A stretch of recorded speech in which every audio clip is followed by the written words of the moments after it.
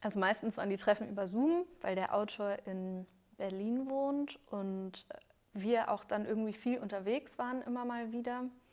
Und genau, deswegen haben wir einfach über Zoom Treffen ausgemacht und uns ein paar Stunden zusammengesetzt und einfach über den Text geredet. Und im Nachhinein denke ich so, ah, man hätte schon irgendwie sich Methoden überlegen können oder noch so ein bisschen systematischer rangehen können.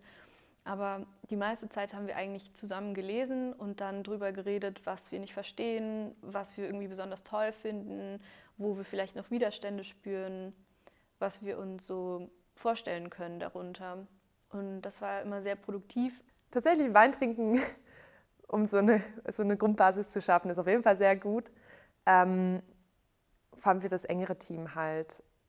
Aber gerade so, wenn man jetzt einfach auf die Arbeit geht oder so einen Probenprozess, ich habe da einfach so ein paar Punkte, die ich immer mache. Ähm, am Anfang des Tages oder schon nur beim ersten Treffen, ich kam rein und sage so, hey, ich habe mir das für den Tag überlegt.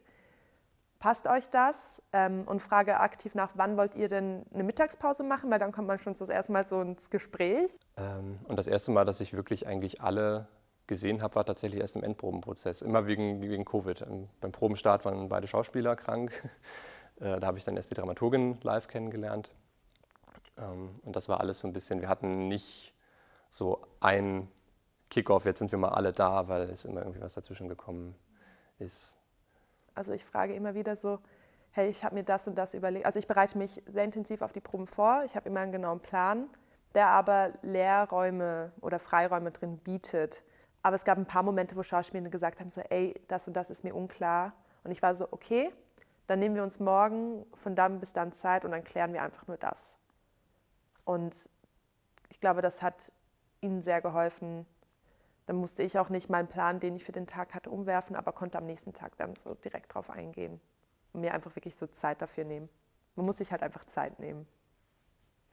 Und dann schließlich, als die zwei Schauspielerinnen dazugekommen sind, sind auch nochmal ganz andere Impulse dazugekommen. Also ich war total überrascht von der ersten Probe. Da haben wir dann auch den Text gemeinsam gelesen und dann drüber gesprochen und die hatten einfach ganz andere Fragen als wir. Und das war echt toll, nochmal ganz anders auch dann drüber nachzudenken. Ähm, also wenn ich das zum ersten Mal so gelesen höre, ich bin dann immer sehr fasziniert davon. Ich, ich fühle mich dann immer wie so ein kleines Kind. So, ich finde Leseproben was extrem Schönes, weil ich kriege dann unglaublich viele Ideen. Ich kann schon mal denken, so, okay, das, das funktioniert eigentlich ganz gut, aber das irgendwie halt auch nicht so. Ähm, dann gibt es so Sätze, wo ich dann merke, die sind geschrieben schön, aber wenn ich die höre, dann stolper ich drüber und das reißt mich raus, es reißt mich aus dem Flow raus, aus dem Ganzen.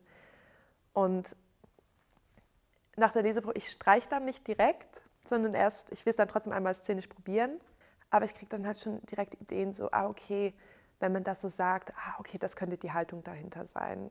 Man stolpert über Dinge, möchte das dann rausstreichen und denkt sich so, ah, nee, lass uns das mal von Aaron gelesen hören, vielleicht passt das besser.